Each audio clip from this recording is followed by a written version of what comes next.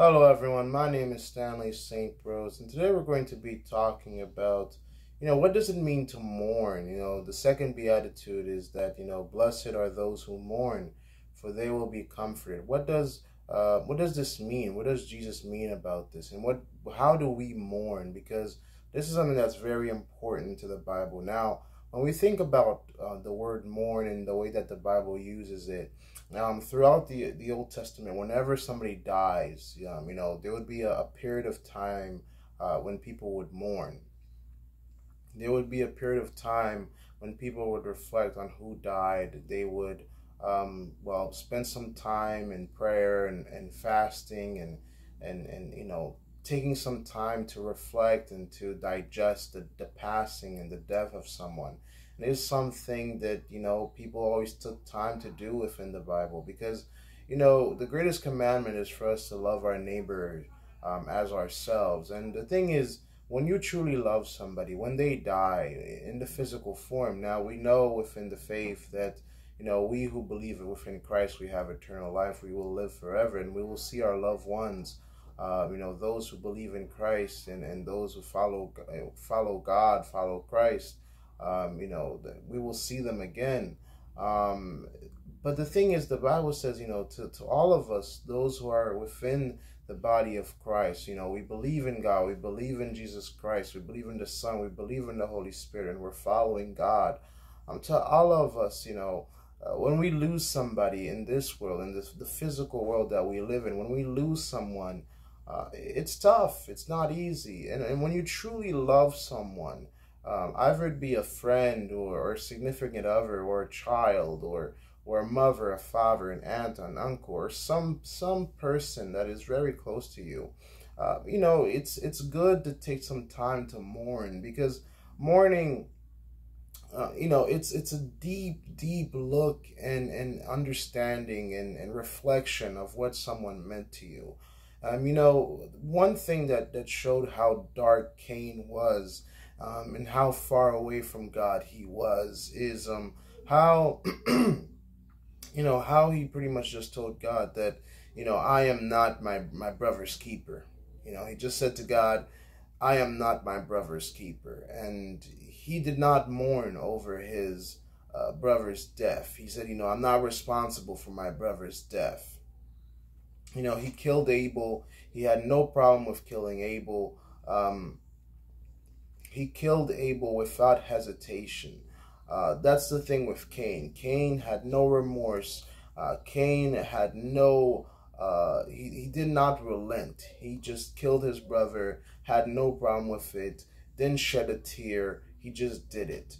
Um, when we truly love someone, when we truly um, are close with someone, when they die, you know, you feel that pang, you feel that hurt, you feel that that period of, of you know that you have to cry, you have to weep, you have to wail. You know, we who are, are called by God, we who are who are called in love, we are supposed to love one another. And when you truly love one another, when you lose someone, you can't just be cold and have a cold shoulder. Uh, we have to mourn for their deaths. We have to we have to spend a period of time uh, mourning for the deaths. This is very important. Now, now some can look at this, say this, this beatitude, and say we also we mourn for our sins. We mourn for our lot in life. We mourn for um, you know. There's there's a lot of things as Christians uh, that we are to mourn for. Yes, uh, one of the ways that the Bible uses mourn is is the death of someone. Uh, is you know when somebody dies, how much it hurts, how much we you know we should spend time in remembering that person. Uh, and, and, weeping and wailing for that person. Uh, at the same time, we can look at mourning is, is when we call upon the name of Christ, when we seek the name of, of God, we seek God uh, for our our you know redemption, for um, our deliverance. Because at the same time, we as Christians we have to mourn over our own sins, mourn over our own shortcomings. Because in the Christian faith, when you realize how sinful you are, when you realize how much you've done wrong and, and you've done wrong, period you have to go through a time of, of mourning, of, of repentance. And repentance, part of repentance is acknowledging um, how deadly and how sinful and, and, and the wrongs that you have done in your life and acknowledging the wrongs that you have done in your life. The thing is, think about Adam and Eve. When they sinned against God, they each had someone to blame.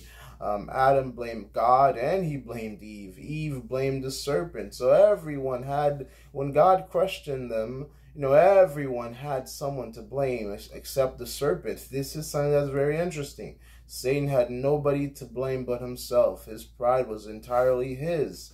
Um, the serpent just received his punishment. Adam was like, no, it wasn't me. It was Eve. You know, you gave me Eve, and Eve gave me the fruit, and I did eat. And Eve was like, no, it wasn't me. It was the serpent. The serpent, you know, told me of the fruit, and I did eat. And, you know, everybody is passing the buck, has something to say the thing is that we, we do have to reach a, a period of brokenness, a, a period of recognizing how much we need God, where we mourn over our own sins, where we mourn our over our own position, where we recognize how much we need God, how much we need to see God.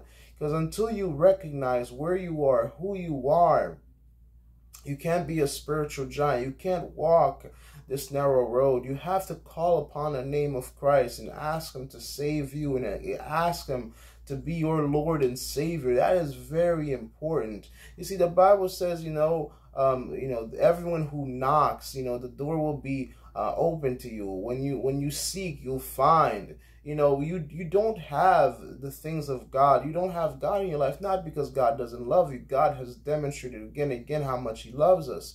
You don't have the presence of God because you don't ask God for His presence. That is very powerful right now. If you want God's presence in your life, if you if you want to understand God more, if you want to understand your place within the universe more, if you want to understand the the, the, cross more, you want to understand Jesus more, you have to come to a place where you're mourning for your sins, you're mourning for your lot in life, you're mourning um, for for for you know your being. Because if you don't recognize that, that without Christ you're on the way to hell, you know, you have to recognize that. The world doesn't recognize this. Those who live in darkness, they don't recognize this. That they're on the way to hell.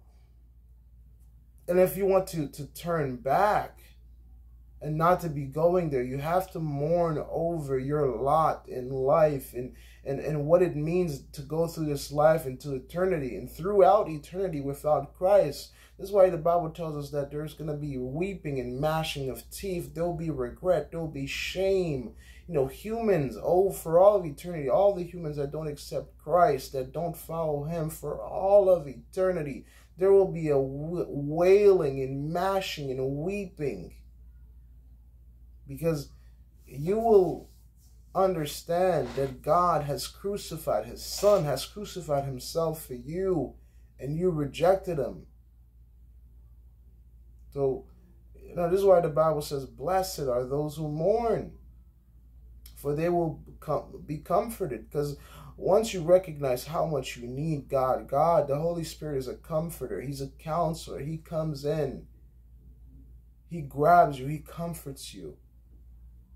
He gives you peace. God is a comforter.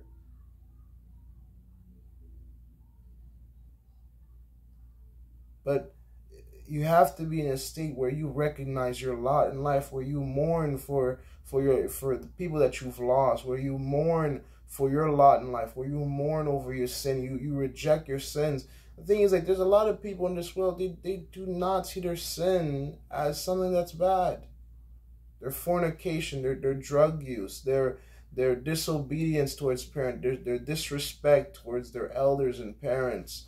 Uh, the, the thing is, like the Bible calls us to respect, you know, people, because to love your neighbor, it requires a certain amount of respect. We live in a world now where, where people don't respect each other, people don't honor each other. But God calls us to, to be different, to be separate. To mourn over your sins, to mourn over your losses, to mourn over your lot in life. It's very important because once you recognize where you are, once you call upon the name of Christ, you will be saved. And He will come in, He'll be your teacher, your counselor, your healer, you know, he'll deliver you. But you have to come to the altar. You have to come to the cross. You have to recognize that you are a sinner. Without Christ, you have no hope of salvation. Christ is the narrow road. Christ is salvation. You have to mourn over your lot in life. This is why those who mourn are blessed. Because the arrogant, the prideful, the wise, a lot of people, this is one thing I have, I have to say about society. Men who, who trust their wisdom, who trust their intelligence. A lot of, you know, atheists trust their their their expert reasoning and, and, and how they've they've looked at the cosmos and, and they've concluded that there is no God. They, they, they've, they foolishly made this assertion, this, they've, they've reached this conclusion that there is no God.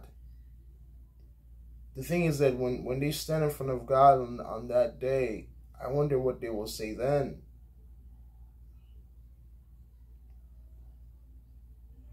The thing is, they don't recognize. They don't mourn over their sin. Their sin. They see their sin as perfectly fine. The thing is, like the Bible tells about this. Those who live in the darkness, they they feel completely comfortable.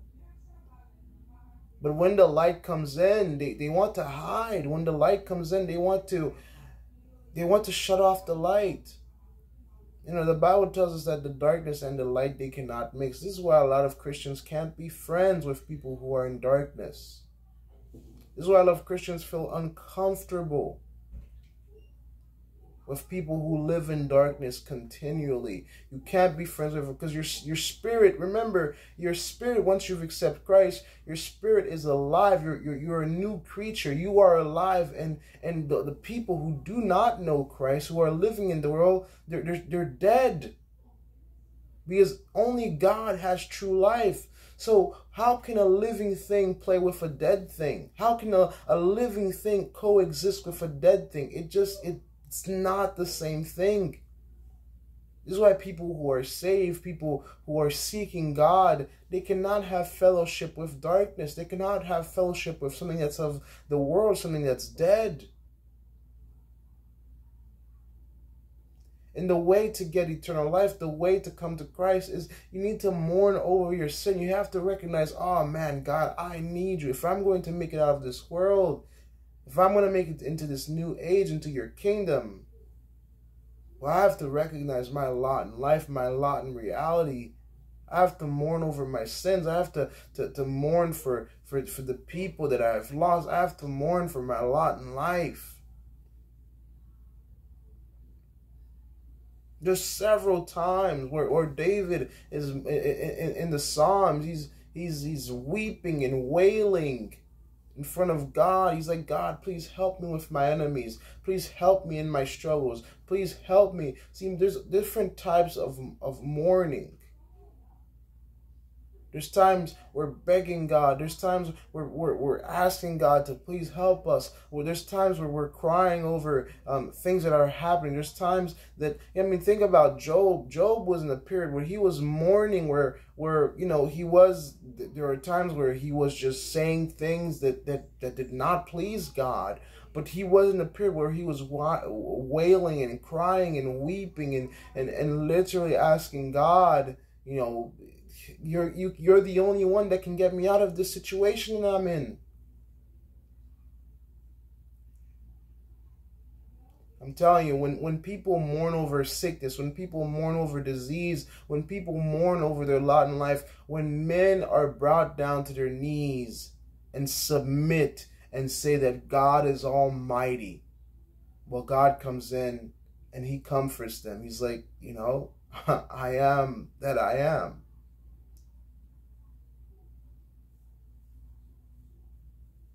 If people don't put down their pride, they don't put down, you know, their, their, preconceived ideas and preconceived notions, you're only going to make more pain for yourself.